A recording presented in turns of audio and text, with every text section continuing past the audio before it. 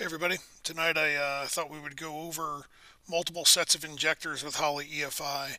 So I see a lot of people switching to methanol lately, and um, some people are doing one big set, some people are doing two smaller sets, some people are doing what I do. So I figured I would show you how to set them up and make them work. So um, if we go into Holley EFI V6, this is build 220.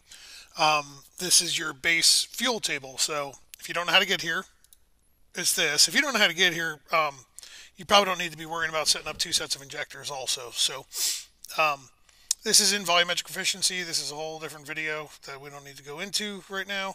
But, um, and this isn't accurate. This is intentionally wrong so that people didn't try to take my numbers out of here and shove them in a car, in a car and make it run. But anyway, so um, you have multiple sets of injectors. So if we go into the system ICF, um, and we go to fuel system injection type custom, and then I selected three sets of injectors. This is on my own car. Um, this is, uh, I have three sets of injectors. Uh, it's a big block Chevrolet. So I'll show you how we did this, right? So we go to configure injector sets. So there's a couple things in here that you need to pay attention to.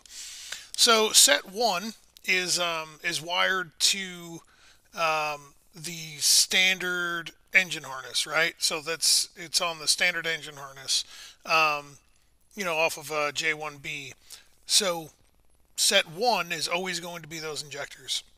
So for my application, there's eight of them. They're 80 pound per hour Siemens Dekas. Um, they're under the intake, and this is what I use for uh, pump gas.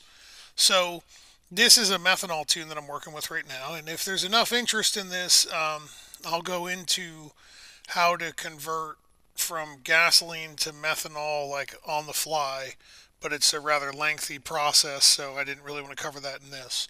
So anyway, this is set one. Um, the second set of injectors is right here. They're 220 pound per hour Siemens Deka injectors from Holley. Um, and notice that the rated injector pressure and actual injector pressure is, or actual system pressure is a little different, right? So they're rated at 43 psi, but I run them at 50 psi. Um, Keep in mind, we have a minimum open time of one millisecond here. So we we are going to touch on that here shortly. So if I wanted, this is an injector that I use for methanol, right? So the set one right here is not being used for methanol at all. This is on a completely separate fuel system and it's for pump gas. If you haven't seen uh, my convertible and how I set up the fuel system, I made another video on that. Go check it out. Um, but uh, but we're going to be talking about set two and set three. So set two Siemens Deka 220s or Holley 220s. Um, they're they're pretty much impossible to get your hands on now, um, probably because I've bought them all. Uh, but uh, they are a fantastic injector. It's just they're not very um, readily available. So we here we can select if we wanted to use it for prime shot, cranking fuel, or individual cylinder corrections. In this scenario, I don't want to use it for any of that. Okay, so um, what we're going to do is we, we have all that information set up. We're going to set three. Okay. These are the big boys. These are AFIS 600 pound per hour injectors. So this is the correct injector off time information for these injectors. Um, I just have it selected as billet atomizer 700s. Doesn't really matter because I wound up changing all this stuff anyway. Um, we could have just made this custom and changed that. If you don't know what an AFIS injector is, it's these. So these are 600 pound per hour injectors at 43 psi. Um, fantastic. I love these injectors. I run them on quite a few cars now. We've installed them in a bunch. So uh, this is also shamelessly plugging my own website. This is hcrinnovations.com slash shop slash AFIS yada yada yada.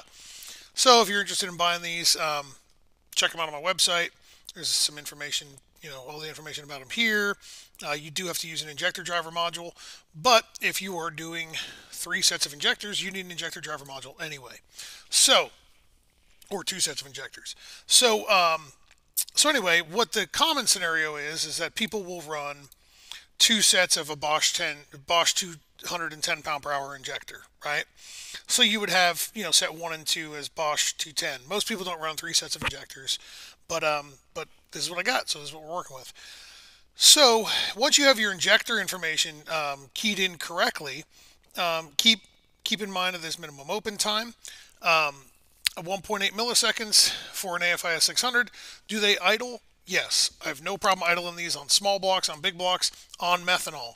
They are not going to idle gasoline. They are not going to idle E85.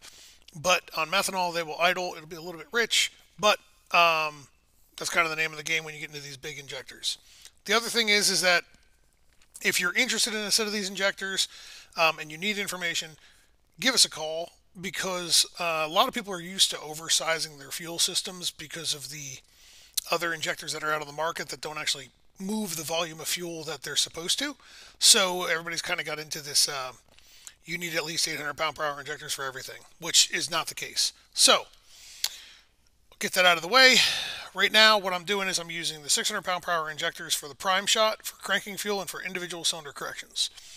Um, so we've got all of our injector information in here. Now we need to tell the ECU when we want what injector to do what. So click on Fuel ICF. This is your volumetric efficiency table. If you tune in VE, then you understand this. If you don't, you are used to seeing this. This is um, this is pounds per hour, right? So I tune in both of them. Um, VE pounds per hour in my classes. I teach VE, um, and then I also touch on pounds per hour and under in understanding pounds per hour. But that's a totally different video. What we have to do here is we need to tell when the second and first or second and third set of injectors are going to come on and what they're going to do. So if you go up here and click on custom injectors, okay, so it brings you up to this, right? So this is your custom injector fuel table percentage. So right now it's in percentage, right? Base percentage.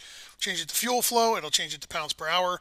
If we change it to duty cycle, it changes it to uh, to percentage of duty cycle. Okay, so right now set one. Remember I said um, set one is my uh, 80 pound per hour pump gas injector. So this is the methanol tune-up for the car. Um, I'm also going to uh, say that I am pro two different tune-ups. Okay, uh, not because you can't get it to transition smoothly from pump gas to methanol, but because if you run the car on pump gas, the injector or the uh, spark plug is going to wind up looking like crap. And um, I'd rather not roll the dice when I'm pumping a couple thousand pounds per hour of methanol into the motor. So for this instance, we're on set two and set three. So what this does is set two, if you remember, here we'll do this, make the split screen here, uh, configure injector sets, set two, remember set two right here, set two is uh, set two right here. It's 220 pound per hour Holley uh, injectors. Okay, so um, for set two or our Holley 220s, they're going to be doing all the work here. Okay, so in the idle area, they're going to be doing all the work, and then we're transitioning over to the big boys up here. Okay, so we're going to transition over. If we look at set three, it's the inverse of what we just saw in set two. Okay, so um, set three is the 600 pound per hour injectors. Click here, right there. There you go, 600 pound per hour. So by the time we hit these cells, the second set of injectors are off completely, and the third set of injectors are taking over. So if you notice, I like to roll them in and roll them in rather linearly. And these numbers aren't just like, you know, fill row values. It actually works out that way, but I mean, it, it you'll see why when we look at a data log. So what we're doing is we're telling it, we're telling the computer, hey, when we're idling, I want to idle on the 220 pound per hour injectors, right? We can idle it leaner, cleaner, the whole nine yards. Um, and then as we start getting in the throttle, making a little bit of boost, we want to roll over to the big injectors, okay? So there's two reasons for that. One, you can lower the fuel flow so low that you get to this right here, this minimum open time, this minimum injector open time, so minimum pulse width, right? Once you reach minimum pulse width on an injector, um, they will either start shutting off at random because they just won't open that fast, or um, when you make fueling changes, it won't do anything for you. It'll just stay rich, right? So if it sits on minimum injector open time, that's a bad thing. So if you notice, set two flows a lot less fuel per injector, right? So we obviously have to run that open time longer. We have to open that injector longer to be able to supply enough fuel for it. But it's also got a lower minimum open time. So keep that in mind when you start sizing injectors and when you start playing with this. This is one of the reasons why I heavily push people going to two sets of injectors because um, it seems as if over the, past couple years, everybody's been transitioning over to uh, to methanol fuels and um, needing these big injectors. And then they wind up buying a set of, um, you know, 550, 550 pound per hour or 750 pound per hour injectors.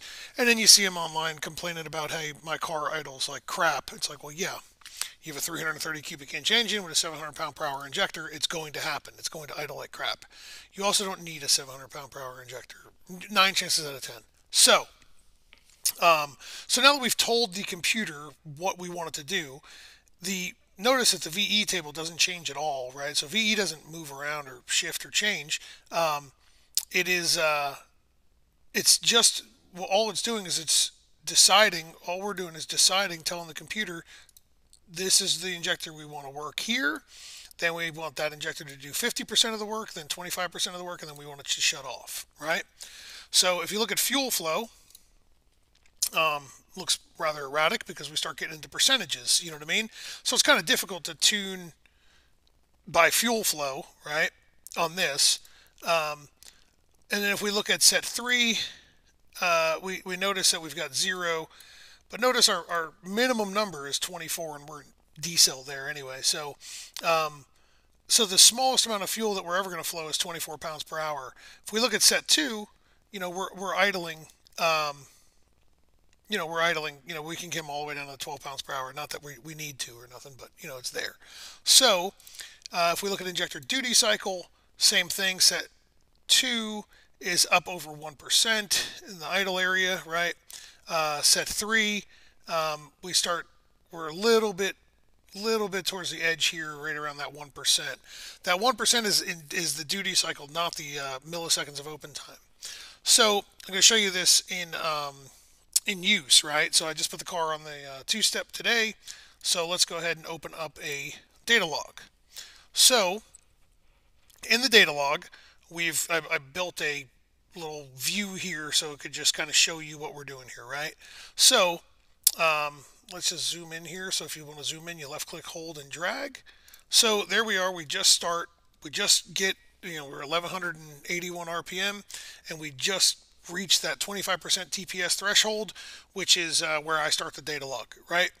So if you notice, um, the fuel table 2, right? So fuel table 2 is injector set 2, right? Is at 100%. So we watch, let's just watch that number as I scroll over. So it's starting, see, it's starting to taper off, right? So now we're at 20-ish percent but we have 79% coming from fuel table 3, which is your 600 pound per hour injectors. So this is the next number to look at. Now notice I've got injector pulse width for injector 1, 9, and 17. So injector 1 is that gasoline injector that we're using on cylinder 1. Injector 9 is that 220 pound per hour injector we're using on cylinder 1 and injector 17 is that 600 pound per hour injector that we're using on cylinder 1. So these are the three three injectors that are on cylinder 1, okay? So let's get rid of that and let's get rid of this and let's look at this, right? So um, notice you can see the, the trend here, right? So the blue line is the 220s. They were they were doing their job and then they start to taper off and come down, right? And the green line is the 600s, and they were doing nothing, hanging out, and then they said, oh, hey, we got to wake up and do something, right? So um, let's look at that pulse width, okay? So 1.8 milliseconds is the minimum pulse width for this injector right here, injector number 17, okay? So this actually needs a probably you could use a little bit more tweaking and the only reason that we didn't have any type of a hiccup um, is because the majority of the fuel flow was already coming out of the 220 pound per hour injector.